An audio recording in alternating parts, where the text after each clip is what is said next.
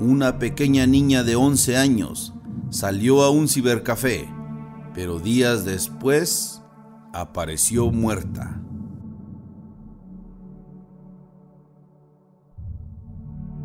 Giselle Garrido Cruz nació el 7 de abril del año 2007 en Chimalhuacán, Estado de México.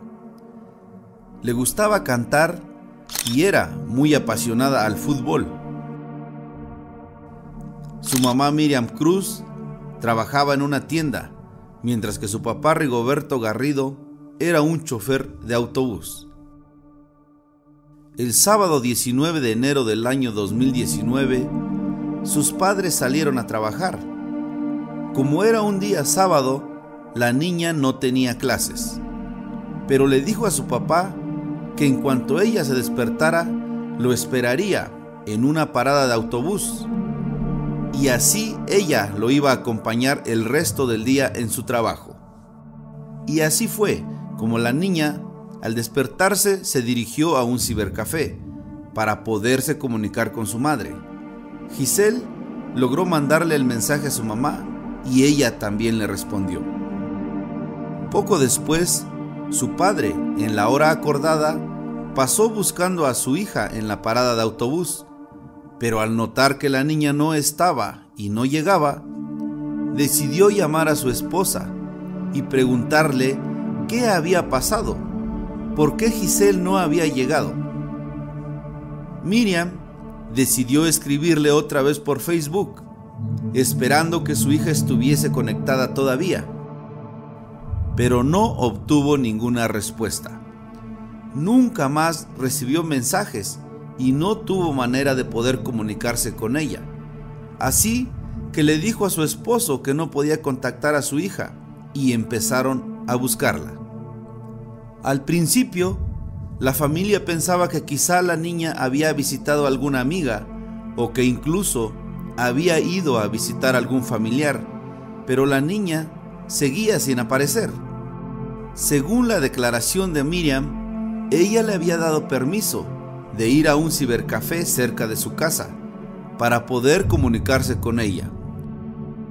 Sus padres empezaron a preguntar en varios locales se acercaron hasta un cibercafé donde Giselle ya había visitado antes. Y el dueño les dijo que no la había visto y que además él no había abierto su negocio esa mañana. Después de varias horas de una intensa búsqueda, los padres de Giselle decidieron acudir al Ministerio Público para poder denunciar su desaparición. Horas después, se emitió la alerta Amber.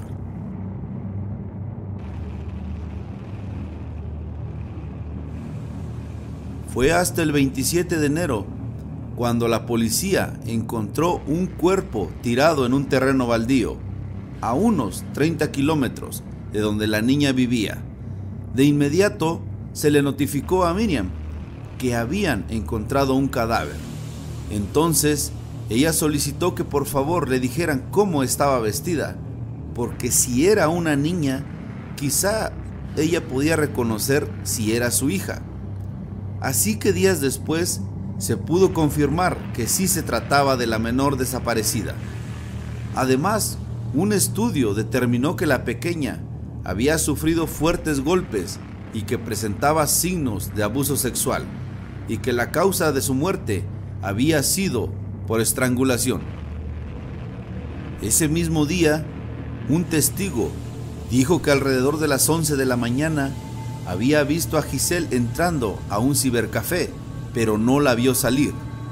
El dueño de ese cibercafé se llamaba Roberto Juan Díaz, de 51 años de edad, y su cibercafé estaba en la avenida principal. Si bien las cámaras de las calles no funcionaban, la que sí funcionaba era la de Roberto, la que tenía en la entrada de su local. Esta cámara fue revisada y se pudo observar cómo la niña entró alrededor de las 11 de la mañana, pero no volvió a salir.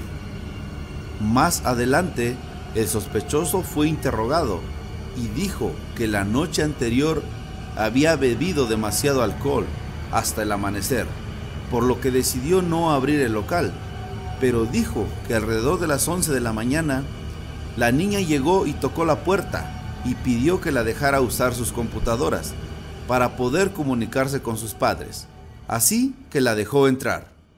Pero antes de que ella se retirara del lugar, Roberto le invitó a tomarse un refresco en una habitación que estaba detrás del cibercafé.